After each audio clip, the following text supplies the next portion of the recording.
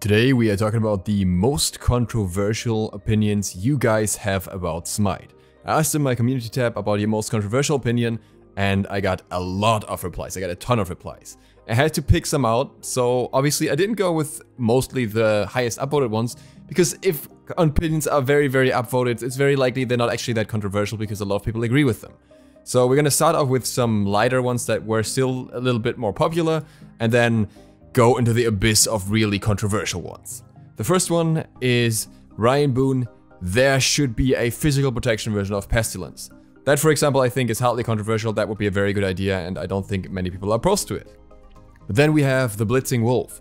Smite needs to completely stop a new content, besides skins probably for a while, and just focus on fixing what exists. And then he goes over all the examples and says that Hi-Rez should take half a year to do that. And I do not believe that that is going to work. Yes, I think Hi-Rez should invest more resources into fixing things, and I've recently talked about this, they are already shifting resources in that direction.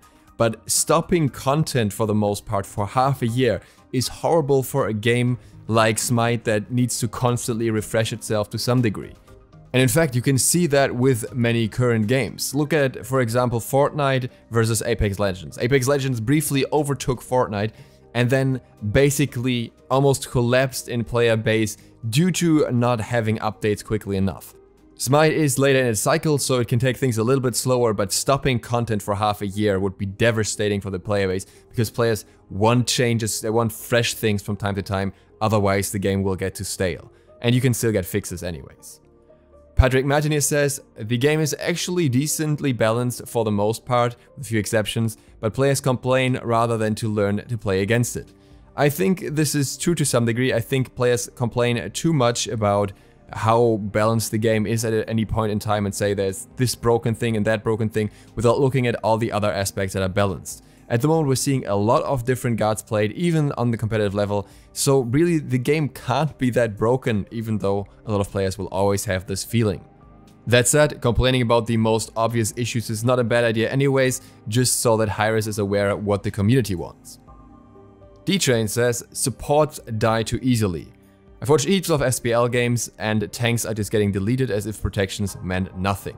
Now I think that protection reduction is currently too strong, there are too many tools to get that too easily, and that's partially coming from tanks ironically, but I think there's another big point here. And there were other comments about something similar, saying that Guardians have too much damage. I think Hi-Rez has to see what the path for supports is in the future. Because as of now, supports aren't as tanky as they could be, but they also don't deal little damage. Many supports can still deal a decent amount of damage, the newest example here would be Horus. So if we make supports tankier, we have to give them a downside of taking away some of their damage. If that's something that will happen in the future is something that we'll have to see. Sonic the Hedgehog came down and took a break from his wonderful new movie in order to tell us this. Ratatoskr and Nox reworks were a lazy fix because of Hi-Rez inability and lack of patience to balance them. Both gods are not half as creative or fun as they were. Ratatoskr feels like Thor 2.0 and Nox just annoying to play against. Now I agree that Nox's old kit was a bit more creative and she feels a bit annoying to play against. But in Ratatoskr's case, I gotta say, as much as the kit was maybe a little bit more unique, I can see why Hi-Rez didn't want to stick to that kit. It was not hard to balance, it was impossible to balance. Balancing out these four acorns against each other in a way that is even remotely close to reasonable is just something that would take way too much work for a character that has a lot of perks outside of that as well. I think new Ratatoskr is a little bit boring in comparison maybe, but I also don't think he's Thor 2.0. I think this comparison just comes way too much from the old and not looking at the kit as a whole. They still have significant differences in how they're played. Magnets and Miracles Gaming says Hi-Rez should stop spamming new gods. Most of them are lame and uninspired, developing new gods needs more time. And I gotta wonder, have you been around for the recent releases? Because I don't see this. I don't see that Jormungandr was lame or uninspired. I don't see that Set was lame or uninspired. I don't see that Horus was lame or uninspired. They all have unique features. Okay, maybe Arthur and Merlin were not quite as creative, but still creative enough in my opinion. So I'm really not sure where this is coming from. The Arthurian Pantheon, on the other hand, was a weird thing. I don't know why they did that. The Ginger Panda says, Conquest isn't the most competitive game mode. Probably somewhere around 1 in 10 games is legitimately competitive for most. All the game and the rest are ruined early by one-trick players, troll picks because they saw someone do it, or players who stop trying if they die and or get mad if given advice to play passive or go a certain item. Then trap others in the game by not surrendering. Meanwhile in Arena Assault and Clash most games are close or back and forth. Granted Arena games are because of the ticket system is a broken system and more times than not randoms still try to fill out a traditional team. Now honestly this sounds like your Conquest elo is just very different from your elo in other game modes. The experiences that are described here of course happen, and that's just down to bad players, but that can happen in any game mode. I think if you would commit more towards Conquest and grind up in MMR, you would have less of the experience that you're having. I do believe that a troll in Conquest is a lot more impactful than in other modes, unfortunately, but I don't think that other modes are nearly as competitive most of the time. And it's relatively easy to prove that by getting a team of coordinated players go in any of those modes together. Because at that point, you will see that in Conquest, you can still face a challenge. But if you have a coordinated team in Arena, game's over. You cannot lose unless you are just actively trying to go for a meme strat or troll strat, which is actually what most full premates end up doing anyways in those game modes, because otherwise they would just be too boring for them. So I can't really agree with this. I'm Not Loved says, Gem of Isolation is way too strong of an item in conjunction with most mages and needs a hard nerf. I do think that Gem of Isolation is too strong on some mages. I think that the passive is very long with the slow, that could be looked at, and it's very easy to apply, but I think it's more that Merlin is a problem with this item than that mages overall are too strong with it. There's only a select few mages that really frequently build it, and most of them are not OP because of the item immediately, whereas Merlin kinda is. Corey Bernieri has a lot to say about the current god design. I'm just gonna skip to the end here. As Amas said in his video, god releases lack identity. They don't have any specific thing they do better or differently. Now I am not sure when Mas said this, but if he said it after Set and Horus were released, I have to hard disagree. Both of these gods have identity, that's for sure. They have unique abilities and they have a unique role to fill in the game in how they play. There are other characters that can in some regards be similar to Set maybe, but not the same. And there are really no characters that function the same way that Horus does. Maybe Janus to some degree, but it's still a vastly different character in a different class with different items, different role overall, so I can't agree with this. Electro Gypsy thinks that Odin needs a massive rework. And the main reason is when you need to add an active specifically to counter one character's ult, Phantom in this case, you know something is wrong. I mean, Poseidon? Aegis? Um, many gods' ultimates beads? I, I don't know. I, I can see that Phantom is more effective against Odin than against other gods, but saying that something is wrong if you need a specific relic. I, I don't know where that's coming from, really. Like on a on a jungler, I would build Blink and Beads in most situations, but then if I see a Poseidon, I'm way more likely to go into Aegis just because of that. So yeah, and you can still use Phantom in other situations as well. It still has other perks when upgraded, so yeah, I don't really see this one either. Draken T says, Freya is still broken. Right, so she would be overperforming on all levels. And let's just see how she's overall performing on all levels and sort by win rate in Conquest.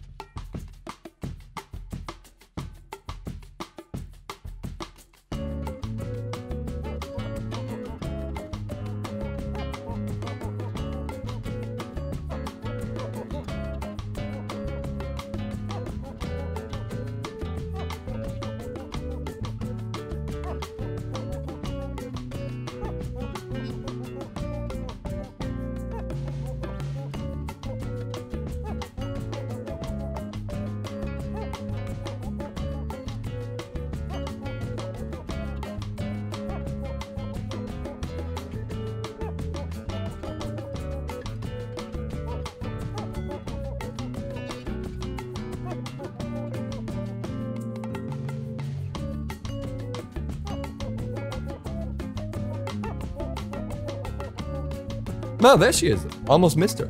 Yeah, no. Clearly, most broken god in the game right now. I absolutely agree. Nerf Freya. Because there's no other problematic gods that would need a nerf first. No, seriously, I'm not a fan of Freya Matos myself, and I am okay with her being nerfed to a point where she's not overly performing compared to other gods and is only good in the hands of people that play really well. But right now, Freya really isn't overperforming that much anymore, so I don't think that she would need to be nerfed into the ground. 6 to Street says, different from many others in the comments by the way, Nike's kit is fine and does not need a rework. It's fine to have simple gods to appeal to those who enjoy a laid-back tanky playstyle. Not every god has to appeal to everyone. I actually agree with that. I don't think Nike needs a rework either. I think she could have some adjustments, some tweaks here and there, some buffs maybe. And maybe also some nerfs in return so that her win rate doesn't get too high. But I don't think she needs an entire rework and I think in itself the character is just okay as a more passive character. According to Killer Fun, the skin argument is dumb. Neith has 3,828,582 skins because people buy them. If you actually care for Erlang or Hun Batz, play the god and get ready to pry open your wallet. I agree, if a less popular god gets a skin, you should buy it. But also, I think that Hi-Rez so far has gone a lot by which god is popular in general, and then obviously based on that they will also get a lot of skin sales. But if you look at the stats individually for which god hasn't gotten a skin in a long time, you can also get very good sales that way because people are waiting for that skin more than they're waiting for a Neith skin. So I'm kind of okay with both takes here. I do get that people get annoyed with the amount of Neith skins though because it's just a running gag at this point and it is frustrating to see if you're playing a god a lot and they never get a skin, but Neith gets yet another one. Dovahkiin Brown says Hi-Rez needs to come to Sony with an ultimatum. Either create a crossplay or remove Smite from PS4. I can tell you that that is not going to happen. I, I think Hi-Rez would like to flex on Sony if they could, but I don't think they're in the position to do that. I think financially they cannot afford to do that and they would piss off a lot of their own player base. Sculping Snake. I'm glad I can say this because I'm interested in your opinion, with you mainly playing jungle. Hasten Katana is just bad. Not in the sense that you shouldn't build it, but in the sense that it's extremely unfun to play against.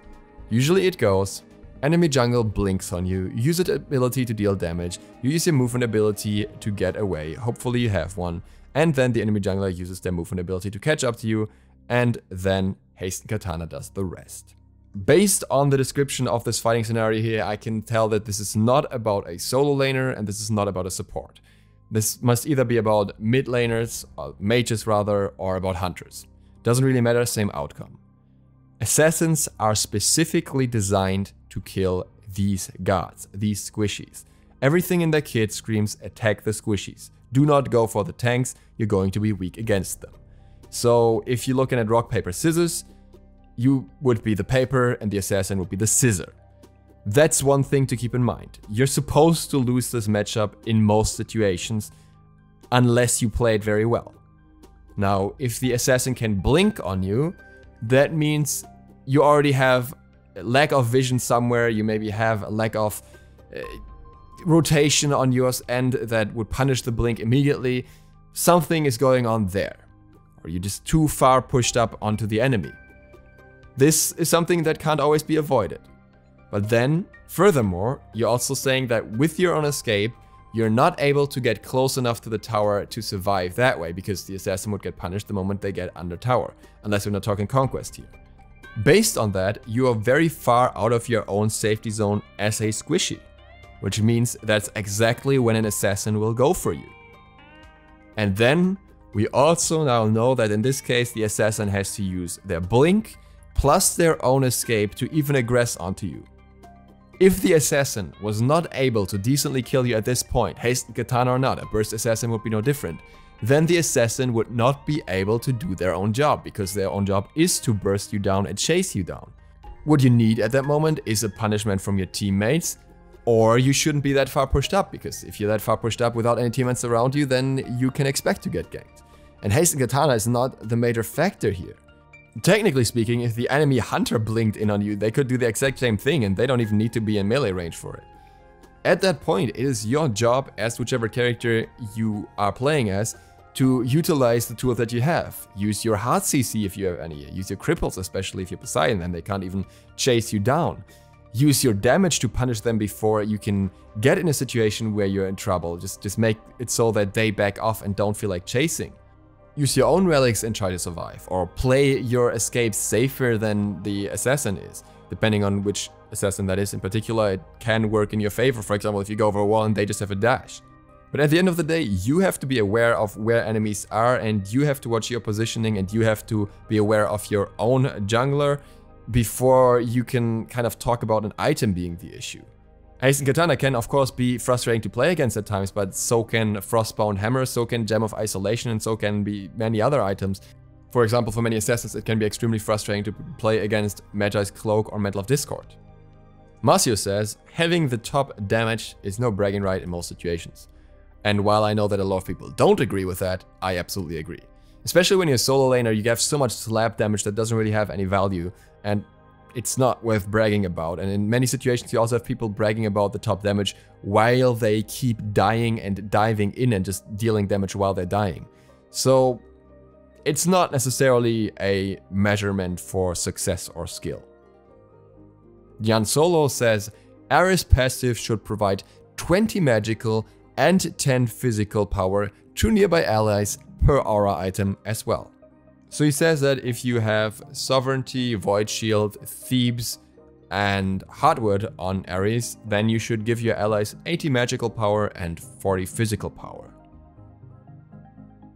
Oh, and Clash is the best and more people should play it. Joust is boring to be honest. Well, I was wondering what kind of person would make a claim like that after the first part, but now that I know it's a Clash main, nothing surprises me anymore. Smoking Pineapple says, the home menu hub is fine and people blew it out of proportion when they changed it. I don't know what platform you're on. If you're on console, I can see where you're coming from. If you're on PC, I'd be very surprised. We still have a massive amount of issues on PC when it comes to inviting, getting into games, chat's not working, all that kind of stuff, and the usability is still very low because Hi-Rez now prioritizes fixing over adding features. So I can't really say that the result is good. And for me personally, this still feels way worse than the old UI with a friend list at the side because it was way more intuitive and usable on a PC.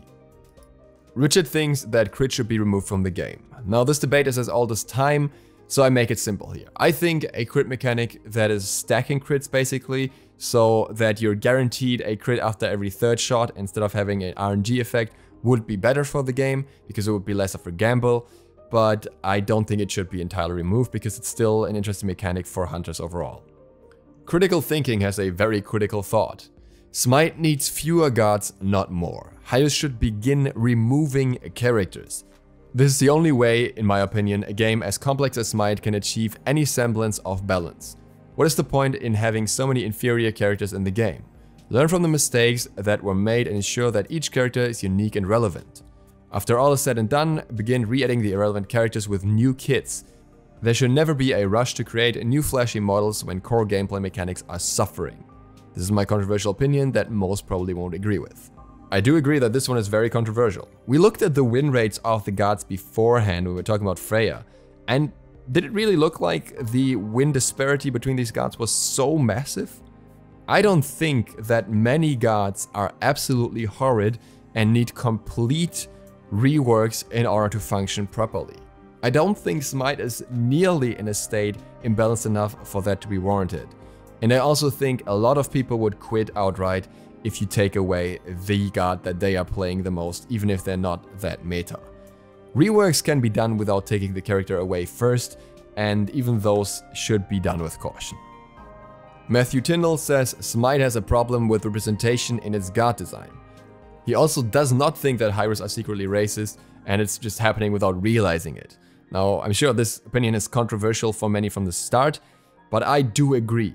I don't necessarily agree with the examples that are brought up here. I think Pele and Awilix aren't shown as white, they are shown as slightly tan, but there are a lot of examples of gods that are weirdly white, like the goddess of demonetization, where you just gotta wonder, why is that? And then you look at the new Smite mobile game and you realize that even more gods are extremely whitewashed there, but that's because it's from a Chinese company as far as I know. I actually think that the female representation at Smite is still relatively boring. There's still a lot of gods that kind of use the same base model over and over when it comes to the female side, while there's a lot more variety on the male side. But in this case, we'll just have to see what the future brings and if Hi-Rez pays attention to this. Roy says, Aegis Amulet is the most broken relic in the game and should be removed entirely. It's not fair how you can outplay someone just by being immune to their damage. Yeah, I don't know about that one. I think certain gods would just completely blow up if that was the case. Think for example Zeus and Poseidon that just don't really have a strong counter to their heavy burst anymore and I don't think that would be good for the game. Dion Jones says, I don't like that the game isn't region locked or locked behind language and this is due to having Spanish people on the NA servers. You haven't seen anything. You have never had to play on EU where you have five different languages clashing and half the people not speaking English at any point. Compared to that, having a few Spanish players in your team sometimes is nothing. But outside of that, I don't think that this is something that will happen in the long run. A, certain regions don't necessarily should be locked out of playing in other regions, like for example Australia. You just have certain times of the day where you don't get a queue. They still speak English, doesn't matter that much, you won't notice, but they will just have to play on an A at other times. And B, you can't make a language barrier in a game for anything really. it's not happening. You could have language-based servers, but that would completely overhaul the structure and then make things complex again because matchmaking would be much harder for each individual region, so don't think that's gonna happen either. Juan Pablo says, Smite has the most toxic player base I've ever encountered. Not even joking, worst community in gaming. Now I wonder how many communities you've been in, but I can assure you that this is not the worst community in gaming. Smite is competitive and it is complex and that leads to a lot of toxicity. That is for sure. But I can promise you that at least in the early days before all the rules were brought in, League of Legends community was way more toxic. People were better on average, but they would let you know at every occasion they could and they would be so toxic about it if you just built one item differently from what they would do. It was absolutely horrible and it's by far not the only game with that kind of community looking over at the shooter side of things as well. Smite is not perfect in that regard, but it's definitely not the worst. 3 Star Mat says, Archon Thanatos is overrated and probably the worst tier 5 skin.